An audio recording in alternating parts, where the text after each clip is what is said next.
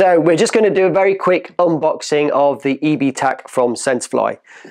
First of all, we have the main body, and on the main body at the rear, we have the motor and the propeller. We also have a different area for the load carriage uh, and the battery. And right at the front here, we have the sensors. On the bottom, we have a skid plate, which will give it some protection when it's landing, and we have a ground sensor. Just very quickly going to pop in a battery. Sits in there.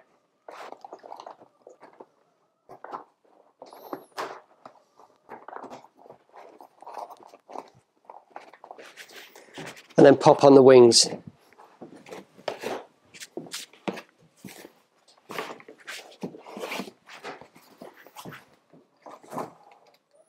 The wings simply slot into place, making sure they're located in the lugs at the back.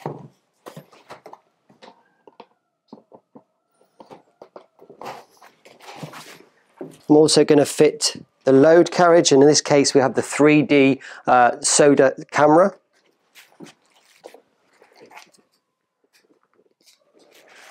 And that gets located in this bay here. And there we go, we have the eBee TAC from Sensefly. Why would we have a fixed wing drone? Well, it gives us a longer range in the air, gives us a longer deployment time, gives us really accurate uh, imagery, really very defined and some really, um, really great qualities of flying in the air. It's very quiet, uh, it's, it's almost invisible and can't be seen. But uh, overall about a 90 minute flight time.